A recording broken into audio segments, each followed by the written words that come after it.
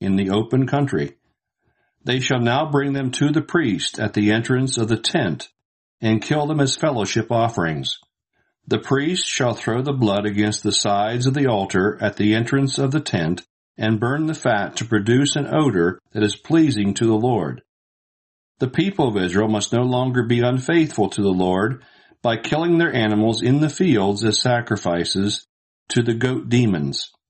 The people of Israel must keep this regulation for all time to come. Any Israelites or any foreigners living in the community who offer a burnt offering or any other sacrifice as an offering to the Lord anywhere except at the entrance of the tent shall no longer be considered God's people. If any Israelites or any foreigners living in the community eat meat with blood still in it, the Lord will turn against them and no longer consider them his people. The life of every living thing is in the blood. And that is why the Lord has commanded that all blood be poured out on the altar to take away the people's sins. Blood, which is life, takes away sins. That is why the Lord has told the people of Israel that neither they nor any foreigner living among them shall eat any meat with blood still in it.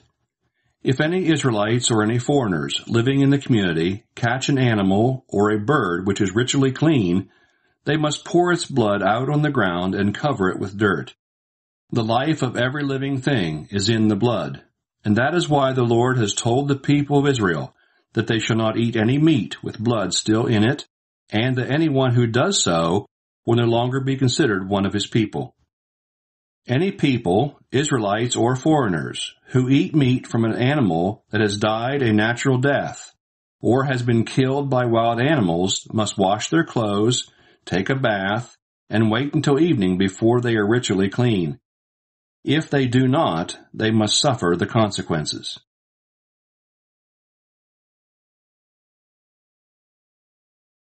Chapter 18 Forbidden Sexual Practices the Lord told Moses to say to the people of Israel, I am the Lord your God. Do not follow the practices of the people of Egypt, where you once lived, or of the people in the land of Canaan, where I am now taking you. Obey my laws and do what I command. I am the Lord your God. Follow the practices and the laws that I give you. You will save your life by doing so. I am the Lord. The Lord gave the following regulations.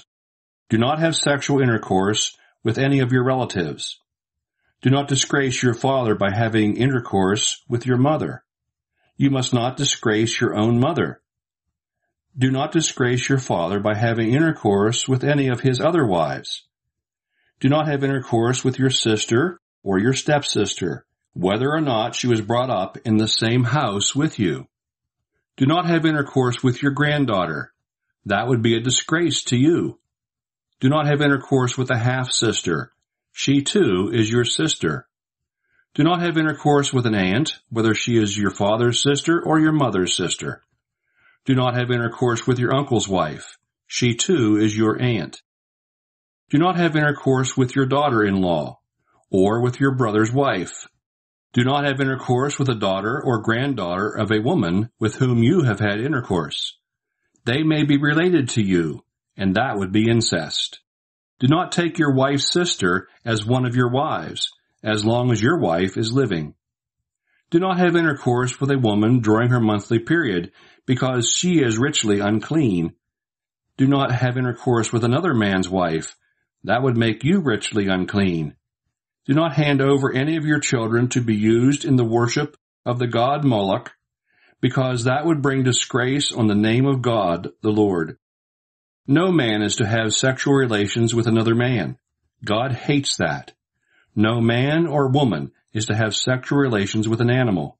That perversion makes you ritually unclean. Do not make yourselves unclean by any of these acts, for that is how the pagans made themselves unclean.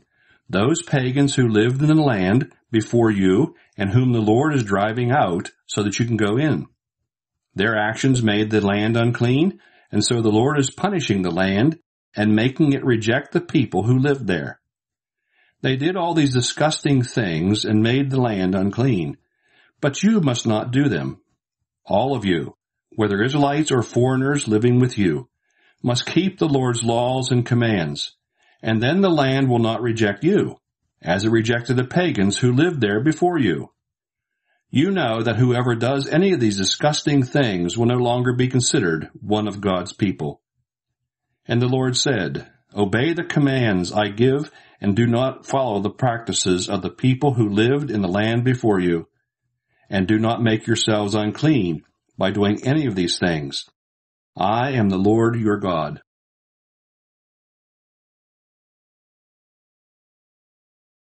Chapter 19 Laws of Holiness and Justice The Lord told Moses to say to the community of Israel, Be holy, because I, the Lord your God, am holy.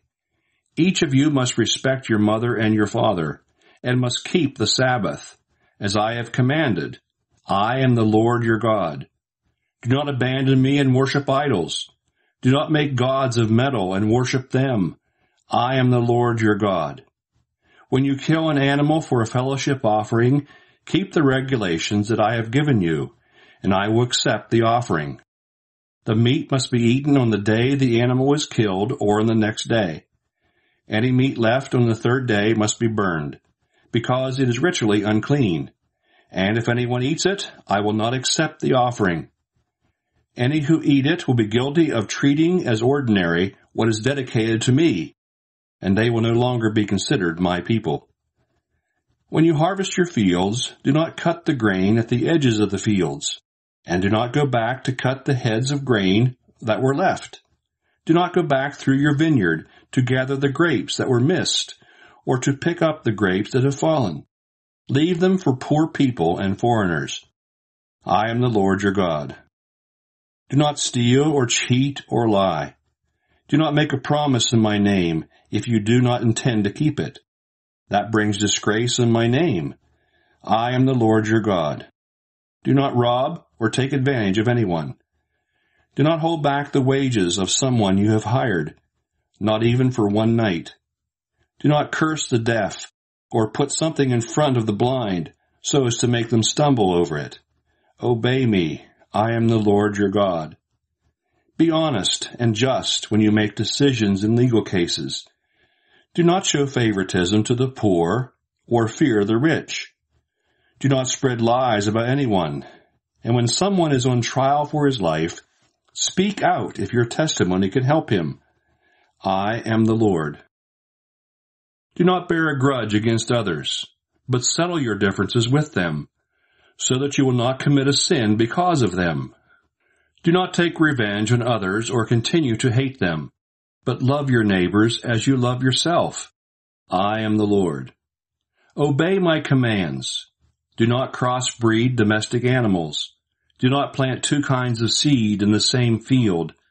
Do not wear clothes made of two kinds of material.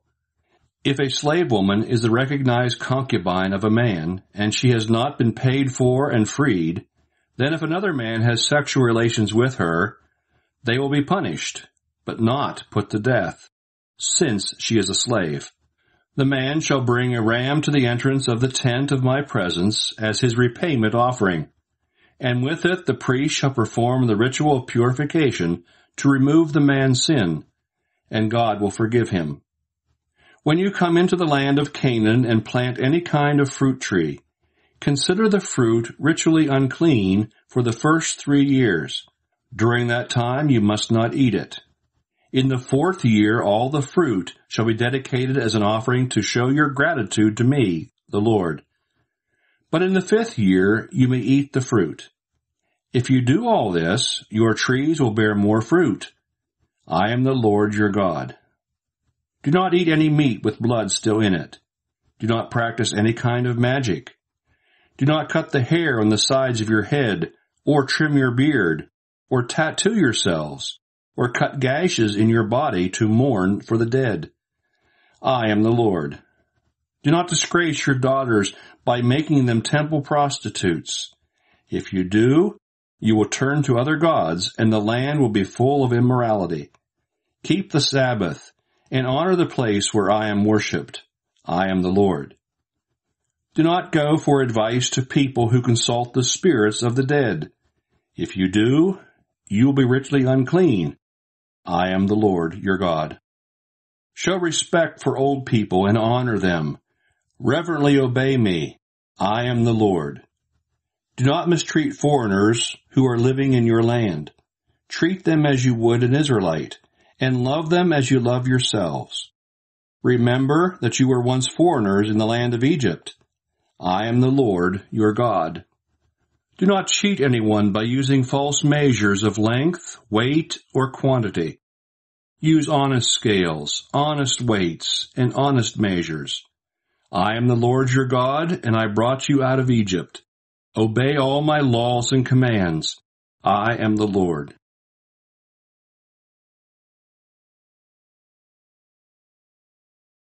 Chapter 20 Penalties for Disobedience the Lord told Moses to say to the people of Israel, Any of you or any foreigner living among you who gives any children to be used in the worship of the god Moloch shall be stoned to death by the whole community. If any of you give one of your children to Moloch and make my sacred tent unclean and disgrace my holy name, I will turn against you and will no longer consider you my people. But if the community ignores what you have done and does not put you to death, I myself will turn against you and your whole family and against all who join you in being unfaithful to me and worshiping Moloch. I will no longer consider any of you my people. If any of you go for advice to people who consult the spirits of the dead, I will turn against you and will no longer consider you one of my people. Keep yourselves holy because I am the Lord your God. Obey my laws, because I am the Lord and I make you holy. The Lord gave the following regulations. Any of you that curse your father or mother shall be put to death. You are responsible for your own death. If a man commits adultery with the wife of an Israelite, both he and the woman shall be put to death. A man who has intercourse with one of his father's wives disgraces his father and both he and the woman shall be put to death. They are responsible for their own death. If a man has intercourse with his daughter-in-law, they shall both be put to death.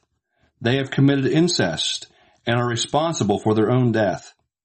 If a man has sexual relations with another man, they have done a disgusting thing, and both shall be put to death. They are responsible for their own death. If a man marries a woman and her mother, all three shall be burned to death because of the disgraceful thing they have done. Such a thing must not be permitted among you. If a man has sexual relations with an animal, he and the animal shall be put to death. If a woman tries to have sexual relations with an animal, she and the animal shall be put to death.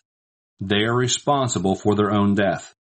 If a man marries his sister or half sister, they shall be publicly disgraced and driven out of the community. He has had intercourse with his sister and must suffer the consequences.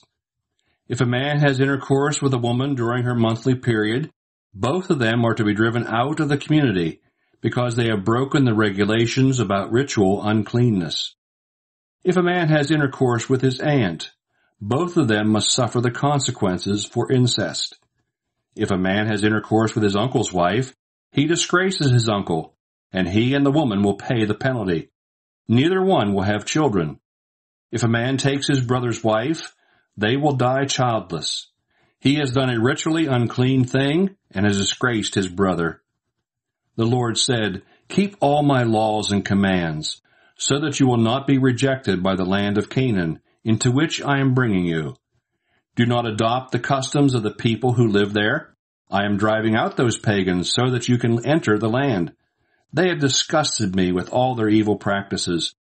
But I have promised you this rich and fertile land as your possession, and I will give it to you. I am the Lord your God, and I have set you apart from the other nations. So then, you must make a clear distinction between animals and birds that are ritually clean and those that are not. Do not eat unclean animals or birds. I've declared them unclean, and eating them would make you unclean. You shall be holy and belong only to me, because I am the Lord and I am holy. I have set you apart from the other nations, so that you would belong to me alone. Any man or woman who consults the spirits of the dead shall be stoned to death. Any of you that do this are responsible for your own death.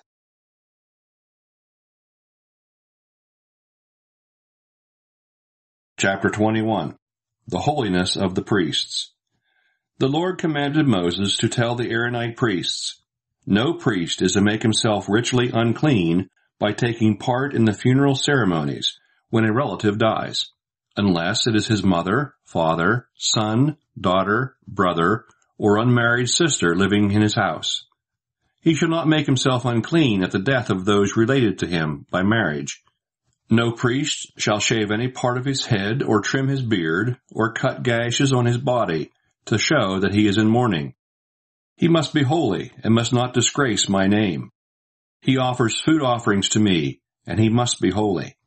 A priest shall not marry a woman who has been a prostitute or a woman who is not a virgin or who is divorced. He is holy.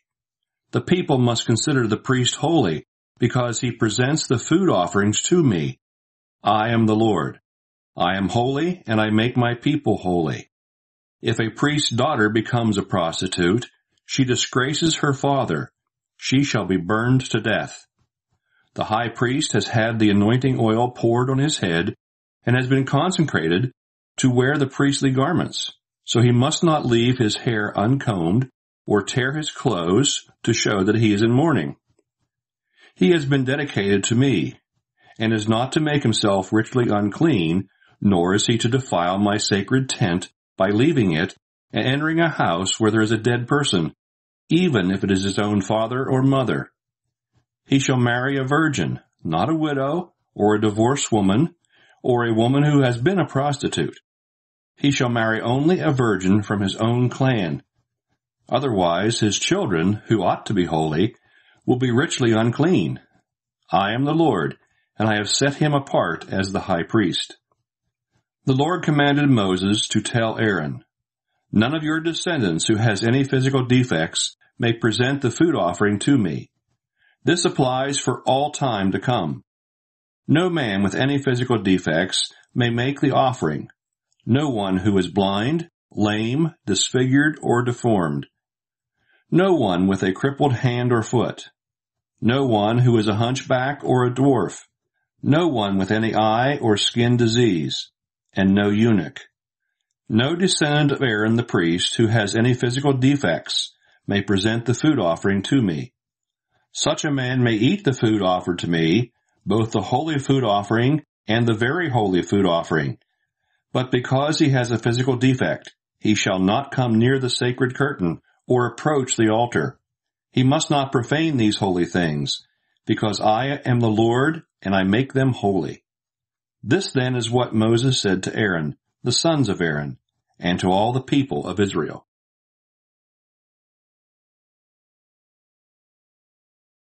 Chapter 22 The Holiness of the Offerings The Lord commanded Moses to tell Aaron and his sons, You must not bring disgrace on my holy name, so treat with respect the sacred offerings that the people of Israel dedicate to me.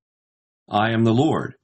If any of your descendants, while he is ritually unclean, comes near the sacred offerings which the people of Israel have dedicated to me, he can never again serve at the altar. This applies for all time to come. I am the Lord. None of the descendants of Aaron who has a dreaded skin disease or a discharge may eat any of the sacred offerings until he is ritually clean. Any priest is unclean if he touches anything which is unclean through contact with a corpse or if he has an emission of semen or if he has touched an unclean animal or person. Any priest who becomes unclean remains unclean until evening, and even then he may not eat any of the sacred offerings until he has taken a bath. After the sun sets, he is clean, and then he may eat the sacred offerings, which are his food. He shall not eat the meat of any animal that has died a natural death or has been killed by wild animals. It will make him unclean. I am the Lord. All priests shall observe the regulations that I have given. Otherwise, they will become guilty and die. because they have disobeyed the sacred regulations. I am the Lord, and I make them holy. Only a member of a priestly family may eat any of the sacred offerings. No one else may eat them. Not even someone staying with a priest or hired by him. But a priest's slaves, bought with his own money or born in his home, may eat the food the priest receives. A priest's daughter who marries someone who is not a priest may not eat any of the sacred offerings. But a widowed or divorced daughter who has no children and who has returned to live in her father's house as a dependent may eat the food her father receives as a priest. Only a member of a priestly family may eat any of it. If any people who are not members of a priestly family eat any of the sacred offerings without intending to, they must repay the priest its full value, plus an additional 20%. The priest shall not profane sacred offerings by letting any unauthorized people eat them. This would bring guilt and punishment on such people. I am the Lord, and I make the offerings holy. The Lord commanded Moses to give Aaron and his sons and all the people of Israel the following regulations. When any Israelite or any foreigner living in Israel presents a burnt offering, whether as fulfillment of a vow or as a free will offering, the animal must not have any defects. To be accepted, it must be a male without any defects. If you offer any animal that has any defects, the Lord will not accept it. When anyone presents a fellowship offering to the Lord, whether as fulfillment of a vow or as a free will offering, the animal must be without any defects if it is to be accepted. Do not offer to the Lord any animal that is blind or crippled or mutilated, or that has a running sore or a skin eruption or scabs. Do not offer any such animals on the altar as a food offering. As a free will offering, you may offer an animal that is stunted or not perfectly formed, but it is not acceptable in fulfillment of a vow. Do not offer to the Lord any animal whose testicles have been crushed, cut, bruised, or torn off. This is not permitted in your land. Do not offer as a food offering any animal obtained from a foreigner. Such animals are considered defective and are not acceptable. When a calf or a lamb or a kid is born, it must not be taken from its mother for seven days, but after that it is acceptable as a food offering. Do not sacrifice a cow and its calf, or a sheep and its lamb, or a goat and its kid on the same day. When you offer a sacrifice of thanksgiving to the Lord, follow the rules so that you will be accepted. Eat it the same day and leave none of it until the next morning. The Lord said, Obey my commands. I am the Lord. Do not bring disgrace on my holy name. All the people of Israel must acknowledge me to be holy. I am the Lord, and I make you holy. And I brought you out of Egypt to become your God. I am the Lord.